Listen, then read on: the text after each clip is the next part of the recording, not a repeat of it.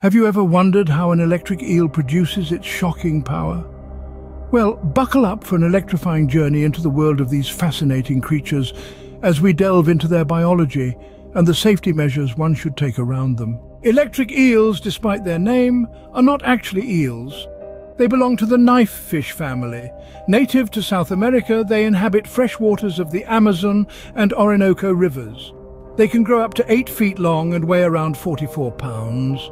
But what makes them truly unique is their ability to generate electricity. In the long cylindrical body of an electric eel, there are three pairs of abdominal organs that produce electricity. The main organ, the hunter's organ, and the Sachs organ. These organs constitute 80% of the eel's body and are packed with specialized cells called electrocytes. When an eel senses prey or feels threatened, a complex chain of events triggers these cells to open their ion channels, allowing sodium to flow through.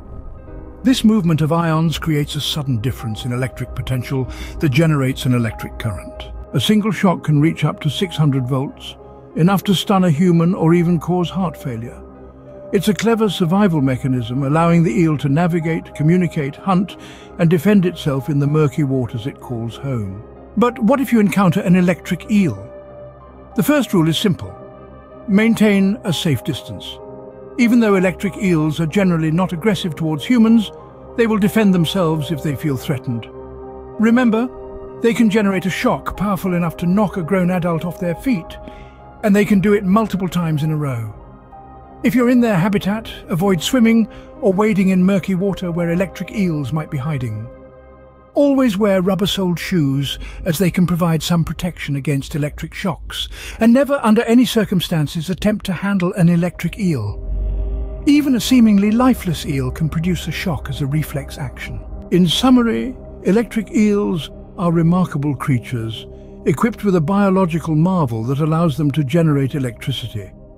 Their shocking ability is not only a testament to the wonder of evolution, but also a reminder of the respect we should have for all creatures in the animal kingdom. If you encounter one, remember to keep your distance, avoid murky waters, and never try to handle them.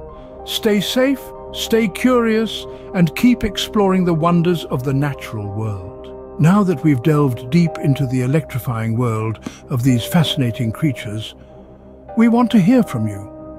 Have you ever encountered an electric eel in your adventures? Maybe during a dive in the Amazon River or perhaps in an aquarium? If you have, we'd love to hear about your experiences. And if you haven't, tell us, would you dare to swim with these high-voltage creatures if you had the chance? Please share your thoughts and experiences in the comments section below. We're always thrilled to hear your stories and engage with our curious community. Remember, sharing knowledge and experiences is how we all learn and grow. So get typing and let's continue this electrifying discussion off screen.